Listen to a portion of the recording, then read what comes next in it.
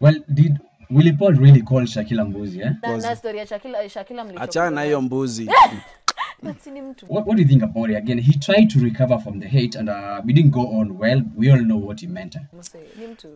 Oh, nani huyo ni mtu? Shakila. Oh, ah, sikuwa nimesikia. ulikuwa umesikia nini? Mimi nimesikia sha, shaki shaki shaki whatever. Kwani mko na Sha- mbuzi nitwa Shaki? Ah, hapo kwa jirani yangu nasikianga kitambuzi fulani shaki. For real? Eh, Aish. so nilikuwa nimesikia hivyo. But Eh. But kani huyo. eh unataka niseme nini juu yake m- mlifanyanaje mwenyewe by then nilisikia sikia story tulifanyana Jesus. what did you guys do to each other nothing eh Eh, huyo ni mtoto mdogo mwenye ni, ni mkrezi uh-huh. ana naweza sema tu hii fame inamshtua You be the judge. Let me know what you think on the comment down below. And uh, this year, 2021, is going to be crazy. We're going to be posting more regular. Until next time, tell your friend, tell your family, subscribe, hit that notification bell.